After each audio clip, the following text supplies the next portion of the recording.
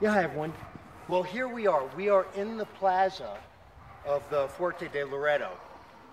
This is uh, inside the courtyard.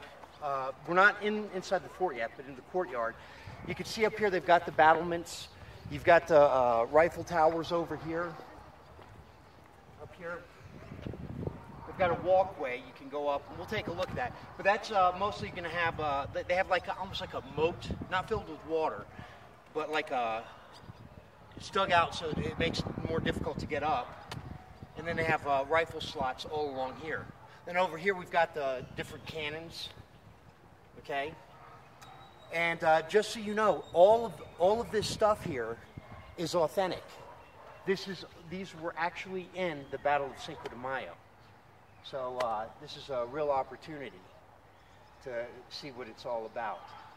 Anyway, let's go take a look inside.